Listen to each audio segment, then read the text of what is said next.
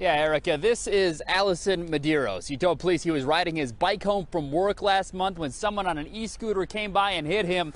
You can see he's still recovering from the injuries that you see here. The problem is he doesn't know who was riding that scooter or who owns it.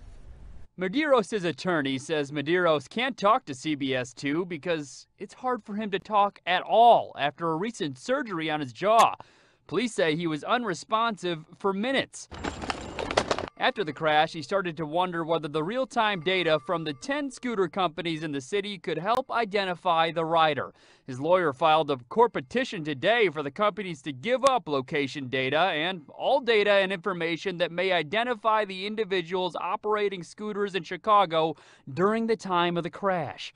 Medeiros' attorney says they tried asking the companies but didn't get the information, so they filed a petition to try to keep them from getting rid of any evidence. Medeiros is now trying to pay off thousands of dollars in medical bills. He told police the scooter was weaving in and out of traffic and hit him while he was riding a bike down the street.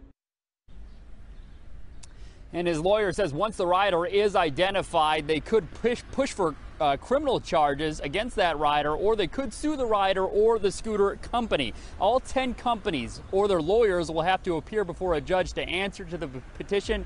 No word on when. And that petition also requests information from the city. Live in Wicker Park, Tim McNicholas, CBS 2 News.